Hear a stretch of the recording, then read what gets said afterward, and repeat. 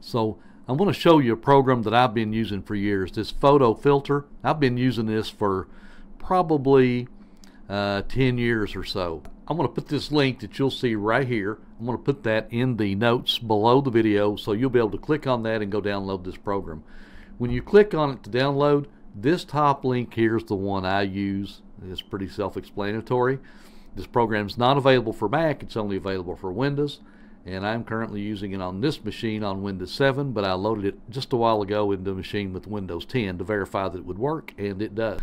Uh, the other great thing about this is this doesn't take a lot of power to run so you don't need a high powered computer.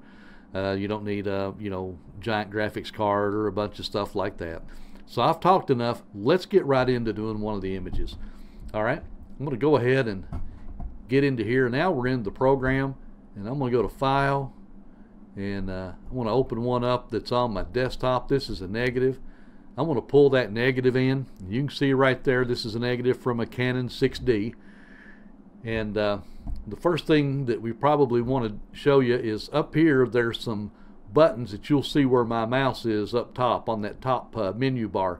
There's a plus and minus for uh, zoom in zoom out. And there's also a numerical indicator here you can click on and pick the zoom size you want if you want to zoom in even more or more quickly.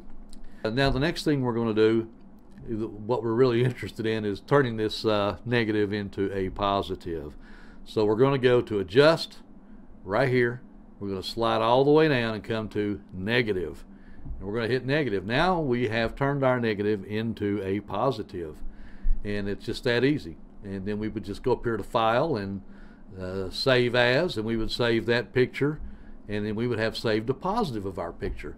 If we needed to work on this picture some, we can do it. Let's go to the lower menu bar here. That's where the controls for editing are mostly at. And we'll see here that we have a brightness. See that? Down and up and down. Then we have a contrast. One, two, one, two. I turn it back to where it was. Then we have the gamma and I'm just going two clicks down, two clicks back. People can set that as they want to. You can desaturate or put it back. You know, color saturation as you need to. Uh, you got some settings here for auto contrast and auto levels. Some of those things are good, uh, but some people prefer to come right up here to adjust, and they can get shadows and highlights, and then you you have more uh, you have a lot more control than just clicking the buttons up and down. And uh, another thing you can do here is you can change the white balance.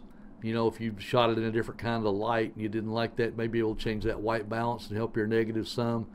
Uh, you turn it into a duotone. I'm just going to do that and show you what it looks like. It kind of looks like a charcoal drawing or something. I'm going to go edit, undo, and get out of that.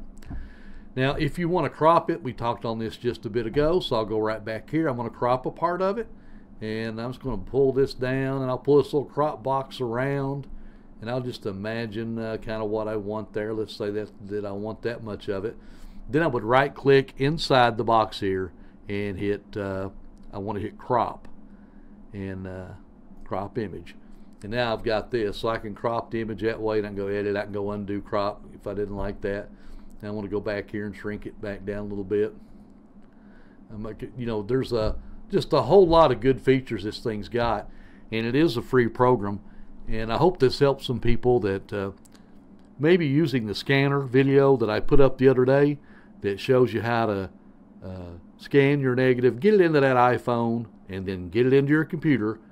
Well now this is going to give you a free way to turn that negative into a positive without you having to go buy uh, Photoshop or Lightroom. Say you've got some pictures right out of your camera and maybe they need a little bit of adjustment on the light level or the color balance or you want to crop them this program can be a great way to do that without spending any money. And I suggest you just download it give it a try put you a couple of pictures in there and play with it. Doesn't cost anything so you have nothing to lose by giving it a shot and seeing if it'll help you turn out some better pictures or turn your negatives into a positive. Well that concludes this video. And as always folks Thanks for watching. Have a nice day. Bye bye.